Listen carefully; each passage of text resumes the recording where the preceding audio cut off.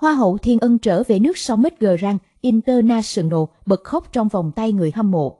Nhiều khán giả có mặt tại sân bay từ 2 tiếng trước khi Thiên Ân trở về để chào đón nàng hậu. Hôm nay, ngày 26 tháng 10, Hoa hậu Thiên Ân đã trở về nước sau hành trình chinh chiến tại Met Grand International. Khoảng 100 kg vali của Thiên Ân đã được ekip đưa ra trước. Sau đó, nàng hậu xuất hiện và bật khóc trước sự chào đón của các fan đang có mặt ở sân bay. Sau hành trình dài tại Met Grand International, Thiên Ân hôm nay trở lại với trang phục đơn giản, khoe trọn hình thể chuẩn.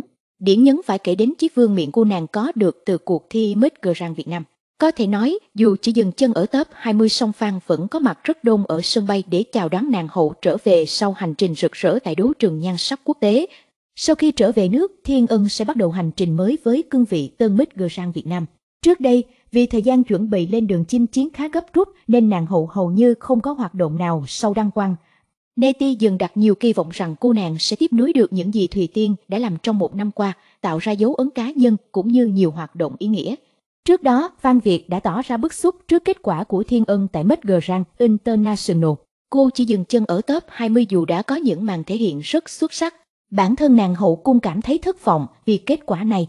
Cô nói có thể là ân có ít thời gian chuẩn bị, nhưng ân nghĩ với năng lực của mình thì vẫn đủ khả năng để vào top 10. Cá nhân ân thấy là phần trình diễn của ân không tệ đến mức bị loại khỏi top 10, nên thấy hơi thất vọng.